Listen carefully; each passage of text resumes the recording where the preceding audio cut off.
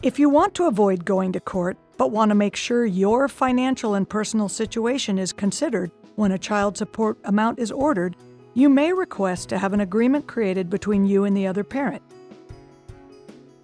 This legal agreement, called a stipulation, is an arrangement that both parents decide is a fair and reasonable amount for child support. The goal in the stipulation is that the parent paying support is able to pay the amount while supporting themselves, and the person receiving support gets the money they need to care for the child or children.